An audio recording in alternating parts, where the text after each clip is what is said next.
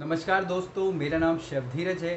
आज इस वीडियो में हम लोग बात करने वाले हैं, जब आप जोमेटो के पास जाते हो टाइप्स के लिए तो आपको वो किस प्रकार के फॉर्म भेजता है, जो कि आपको साइन करके अपनी स्टैंप लगा के वापस भेजने पड़ती हैं। अगर आपने साइन अप नहीं भी किया है या आप करना चाहते हैं तो आप मुझे व्हाट्सअप पे कांटेक्ट कर सकते हैं। वो सारे फॉर्म मैं आपको अवेलेबल करा दूँगा, ताकि आप एडवांस में वो सारी चीज़ें समझ सकें कि आपको क्या क्या साइनअप्स करने होते हैं। बाकी मैं आपको ये भी बताऊँगा कि उन फॉर्म्स पे क्या क्या होता है।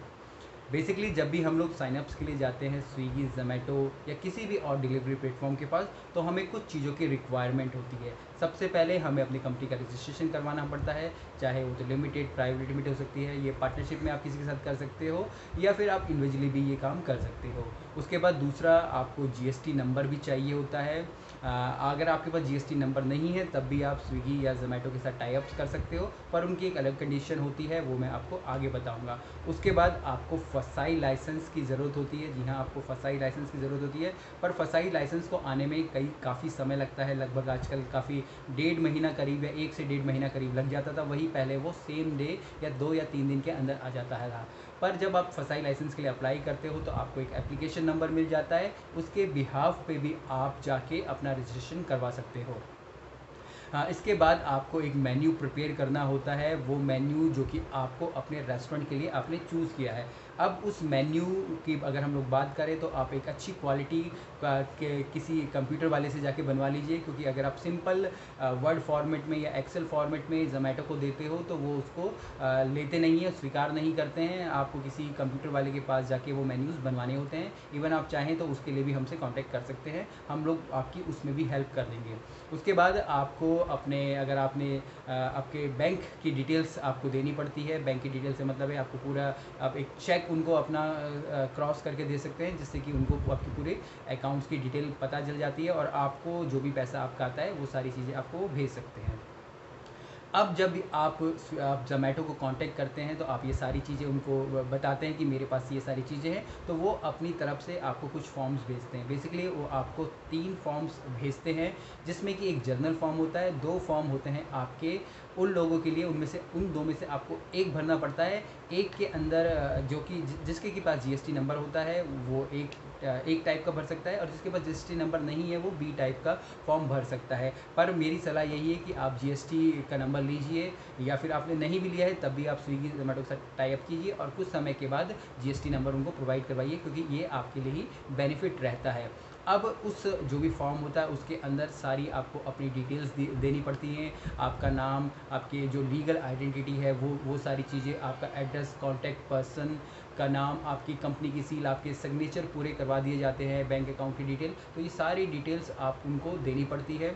उसके बाद जो दो फॉर्म होते हैं, एक जीएसटी वाला फॉर्म होता है, एक विदाउट जीएसटी वाला फॉर्म होता है। जिसमें जीएसटी वाले फॉर्म के अंदर आपके कमीशंस लिखे जाते हैं कि आपको कितने परसेंट कमीशंस आपसे वो ले रहे हैं। आप चाहे तो उनसे अगर आप जानते हैं तो उनसे बात भी कर सकते हैं। आपके वो कमीशन कम भी कर सकते हैं। कहीं पे भी ऐसा हार्ड एंड फास्ट रूल नहीं है कि उनको इतने ही कमीशन चार्ज करने हैं। उसके बाद उनकी जो पेमेंट गेटवे की फ़ीस होती है वो भी उसमें लिखी होती है। या फिर कैंसिलेशन फ़ी या किसी भी प्रकार की जो भी आप वो सर्विस चार्ज लगाते हैं वो सारी चीज़ें उसमें लिखी रहती है। अगर आपने जीएसटी नंबर वाली अगर हम लोग ये बात कर तो, तो जी जीएसटी की आपको अपनी डिटेल्स भी देनी पड़ती है पूरी जीएसटी नंबर और आपको ये भी बताना पड़ता है कि आप कितने परसेंट जीएसटी अपने खाने पे चार्ज कर रहे हैं। तो ये सारी डिटेल्स आपको इस फॉर्म में भरनी होती है। सब कुछ भर के आप उसको स्कैन करके उनको वापस भेजते हैं। उसके बाद अगर आपके पास जीएसटी नंबर नहीं है तो आपको सेम यही डिटेल्स देनी होती है। बाकी आपको ये नहीं बताना होता है कि आप अपने खाने पे कितना जी कितना परसेंट जीएसटी लगाएँगे, क्योंकि आपके पास जीएसटी नंबर खुद ही नहीं होता है। तो ये सारी डिटेल्स जब आप आप उनको भर के भेजते हो, उनकी तरफ़ से एक्नॉलेजमेंट आता है। साथ साथ आपको इसमें, आपके पास अगर जीएसटी नंबर का जो पैन कार्ड है आपके पास, वो भी अगर इंडिविजुअल है तो आपको वो देना पड़ता है। तो ये सारे डॉक्यूमेंट जब आप उनको स्कैन करके भेज देते हो तो वो आपको अपने इसमें ऑनबोर्ड कर देते हैं अपने प्लेटफॉर्म में और कुछ समय के बाद आपको सिखा दिया जाता है कि किस तरीके से ऑर्डर आते हैं और आप ऑर्डर रिसीव करने लग जाते हो। तो इस प्रकार से पूरी प्रक्रिया होती है, कोई इतना इसमें मुश्किल वाली बात नहीं है। अगर आप चाहते हैं, ये फॉर्म आपको एडवांस में मिल जाए और और आप उनके बारे में सीख पाएँ। और इसमें जो उनके दो मॉडल होते हैं, मैं पहले बताना भूल गया, एक वो सिनर्जी और एक नॉन सिनर्जी होता है। ये दो दो तरीके के मॉडल पे फ़िलहाल जो जोमेटो काम कर रहा है, आप उनके बारे में भी उस फॉर्म में अच्छे से पढ़ सकते हैं, बाकी पूरी टर्म एंड कंडीशन लिखी होती है, आप वो सारी चीज़ें इवन जाके पढ़ सकते हैं। आप इस फॉर्म के लिए मुझे नीचे कांटेक्ट कर सकते हैं, मेरे व्हाट्सअप नंबर नीचे आपको मिल जाएगा। तो चलिए वीडियोस कैसी लगी आप मुझे बताना, बाकी किसी भी नए टॉपिक पे क्लाउड किचन से रिलेटेड आपको कुछ भी बारीक से बारीक चीज़ आपको पता करनी है तो आप मुझे नीचे लिख सकते हो। बाकी आप मेरे क्लाउड किचन का बेसिक और एडवांस कोर्स भी ले सकते हो, ताकि आप लोगों को बेनिफिट हो और आप लोगों को एडवांस में ही सारी चीज़ें पता चल पाए। ताकि आने वाले फ्यूचर में जब भी आपको बिज़नेस करना है तो आपको किसी भी प्रकार की परेशानी ना हो।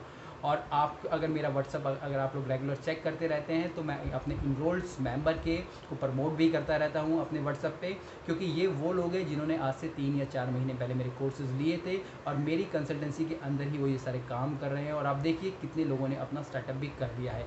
अगर आप भी चाहते हैं मेरी क्राफ्ट किचन कोर्स को लेना तो आप नीचे मुझे कॉन्टैक्ट कर सकते हैं। मेरे व्हाट्सअप का नंबर नीचे डिस्क्रिप्शन में आपको मिल जाएगा। तो चलिए फिर मिलेंगे एक नए वीडियो में। तब तक के लिए जय हिंद।